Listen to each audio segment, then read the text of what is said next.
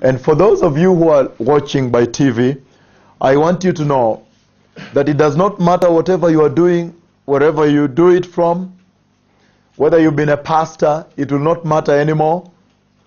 Many have said they are pastors. Many have thought being a Christian for many years give them a qualification to enter through this door.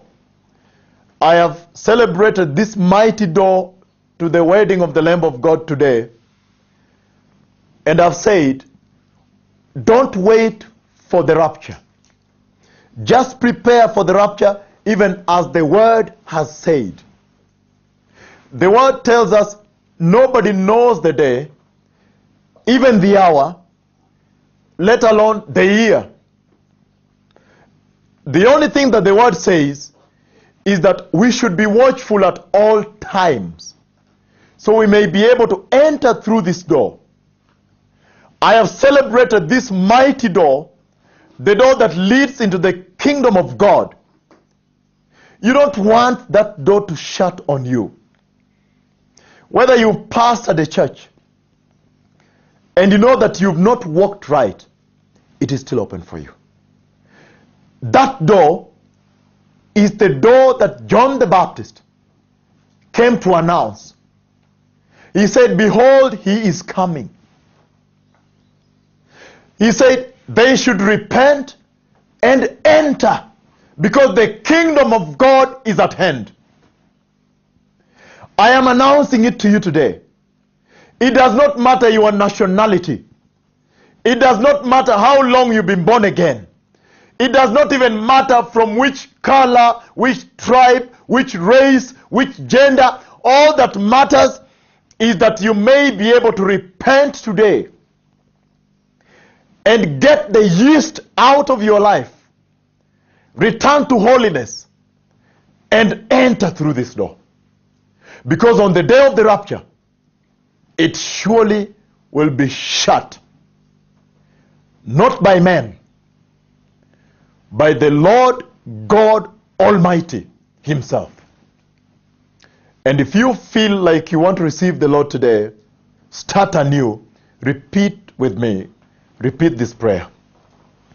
Say, Precious Lord Jesus, Precious Lord I have lived as a sinner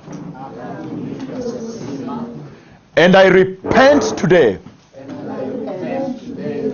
I repent of all sin I repent of all sin since I was born since I was born until the day of rapture. until the day of rapture. I am repenting today. I am repenting today. Clean me, Jesus, Clean me, Jesus, and write my name and write my name in the book, in the book, the book of life. the book of life. Lord Jesus, Lord Jesus, restrain me. restrain me. Don't allow me Don't allow me to go back to sin. to go back to sin. And fill me today fill me today with the anointing of the Lord, with the anointing of the Lord. the morning dew, the morning dew that I may enter that I may enter into the wedding of the Lamb. into the of the Lamb. In the name of Jesus, In the name of Jesus. in the mighty name of Jesus, In the name of Jesus. I begin anew today. I begin anew today. Amen. Amen.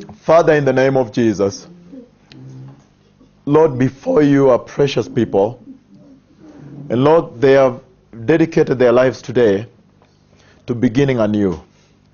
Lord, you are faithful to your word. You have led me to speak to them, Jehovah.